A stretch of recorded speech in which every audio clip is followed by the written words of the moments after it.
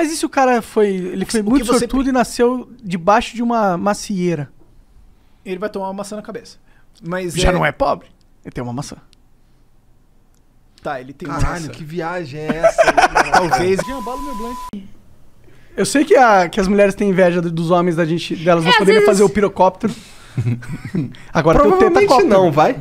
Mano, eu acho que deve. É, é- é engraçado? O eu piro- acho que deve ser uma parada Eu, engraçada. eu já conversei com várias pe- mulheres que falam que, O que eu- ó, falar o assim, que eu eu queria ter um pinto hora- só pra fazer o pirocóptero. Não, o que Era a eu única acho coisa da que eu hora da, queria lo- da logística de ter um pinto é fazer xixi em pé. Porra, Isso isso, é é foda. maneiro. Porque, assim, Foda. é, tem muito homem que faz xixi sentado também, né? Que falam que é higiênico pra caramba.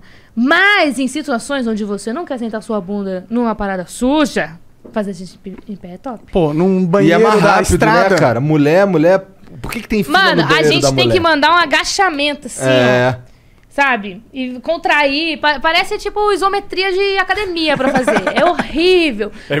Ou, ou você pega o papel higiênico, aí faz a faz forra, assim. Mano, isso. é Lá uma- na tua casa tem um jardinzinho? Tem, tem. Cara, então, a minha pira... Achei que ele ia falar pra eu mijar no jardim. mas- Então, calma. Ô, Ele vai falar isso. Meu pai tinha uma casa, meu pai tinha uma casa na roça, no interior do Rio. E aí lá tinha bastante, assim, era na roça, tinha muito Aham. capim, tinha- e na casa lá tinha um jardinzinho. Então, o meu quarto, ele era do lado do banheiro, mas a minha pira era acordar, mijar no mar. sair da casa, ir lá na frente, arriar as calças e só deixar o mijo sair. Cara, isso é muito libertador, cara. Tu fica só assim, pensando na vida enquanto tu tá mijando. Agora eu só pensei no meu cachorro, faz isso todo dia de manhã. Porra, é incrível, Mas é, os animais, eles, eles têm uma liberdade que nós, Oh. humanos, não aproveitamos. O meu gato, por exemplo, meus gatos. É o que eles fazem. Eles dormem e comem.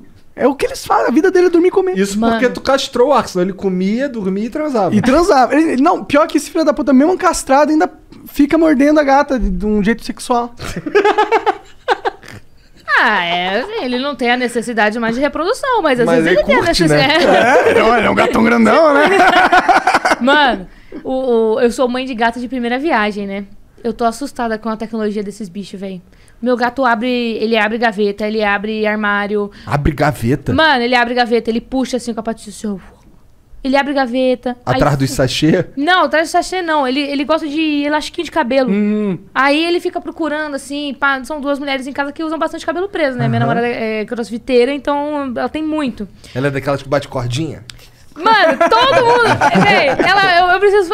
Eu, uma coisa que eu aprendi com ela é que toda vez que alguém falar pra mim que crossfiteiro bate cordinha e levanta pneu, eu preciso defender quem falando que não. A minha namorada falou que em quatro anos de crossfit, assim, três anos de crossfit que ela faz, ela nunca levantou um pneu.